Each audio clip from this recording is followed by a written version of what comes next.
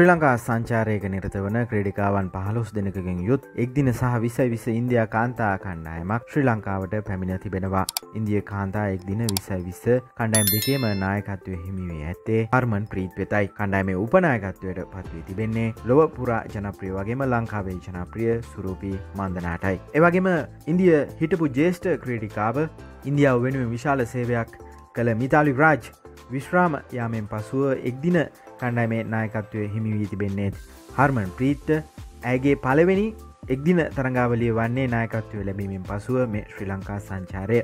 කෙසවෙදත් ශ්‍රී ලංකාව සහ ඉන්දයානු කාන්තා කණ්ඩායම් අතර එක්දින තරඟ තුනක් විසයි විස තරඟ තුනක් ක්‍රඩා කිරීමට නියමිතයි. මේ මස විසිතුන්වෙන්ද විසි පස්වෙන්ද විසි හත්වන්දා යන දිනවලදී විසයි විස්ස තරඟ දඹුල්ලේ පැවැත්වෙන අතර ලබන මස පළවෙනිදා හතරවෙනිදා හත්වනිදා කියන දිනයන් වල තරඟ තුනකින් යුත් එක්දින තරඟාවලයක් මහනුවර පල්ල කැලේදී පැවැත්වීමට නියමිතයි. මේ විශේෂ සංචාරයක් බවට පත්වන්නේ අර්බුදකාරී තත්ත්වයක් ශ්‍රී ලංකාවේ තිබෙන වෙලාවක අසල්වැසි රාජ්‍යය ප්‍රධාන කාන්තා කණ්ඩායම ලංකාවට පැමිණීම ඉන්දයානු සංචාරකයන් ලංකාවට ගෙන්වා ගැනීමටත් හොඳ රුකුලක් වේවී ඕස්ට්‍රලියනු ජාතික කණ්ඩායම ඉන්දයානු කාන්තා කණ්ඩායම වැනි ක්‍රිකට් කණ්ඩායම් ලංකාවේ සංචාරය කිරීම මේ අර්බුදකාරී තත්ත්වය සිටින ශ්‍රී ලාංකිකයන්ට වගේම ශ්‍රී ලංකාවේ ආර්ථිකයට හොඳ සුබලකුණක් වේවි වගේම අප ඔවුන්ට ස්තුතිවන්ත වී යුතුයි. චැනල් එක සබස්ක්‍රයිබ් කරන්න.